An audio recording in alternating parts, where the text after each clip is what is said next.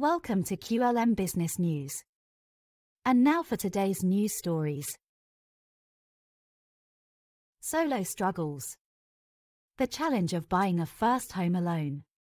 The dream of owning a first home remains elusive for many, but for solo buyers, the journey is even more arduous.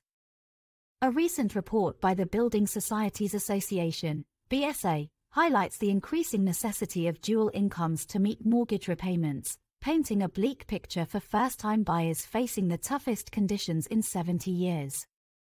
Meet Jess Waring Hughes, a 32-year-old business manager, who finds herself relentlessly saving in pursuit of homeownership with little support in her solo endeavor.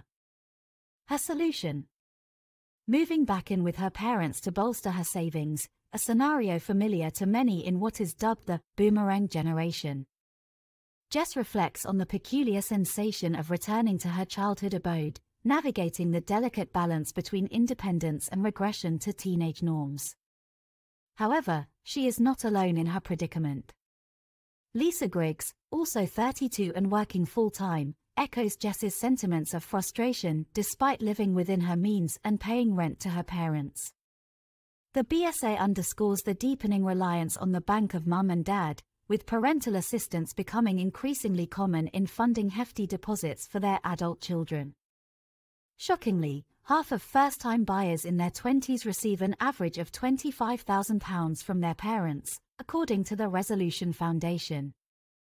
Jess and Lisa, grateful for familial support, meticulously draft savings plans and navigate financial spreadsheets in their quest for homeownership. However, the harsh reality depicted by these spreadsheets paints a grim picture. Stagnant wage growth juxtaposed against soaring house prices and exorbitant rents, exacerbating the challenges faced by solo buyers. Moreover, fluctuations in mortgage rates over the past 20 months have introduced unprecedented volatility to the housing market, further compounding the woes of prospective homeowners. Two-year fixed deals, once offering interest rates below 2%, skyrocketed to an average of 6.86% last year, according to Moneyfacts. This turbulent landscape begs the question. How can the property market be revitalized for first-time buyers? Jess advocates for evaluating an individual's rental history in mortgage applications, while Lisa calls for increased flexibility. The BSA advocates for radical reforms, proposing relaxed lending regulations to accommodate buyers unable to afford substantial deposits. However, such propositions are not without controversy, given the regulatory tightening post 2007-08 financial crisis. Despite differing perspectives, one thing remains clear. The path to homeownership for solo buyers is fraught with obstacles, challenging the notion that it is not that difficult to enter the housing ladder, as suggested by some.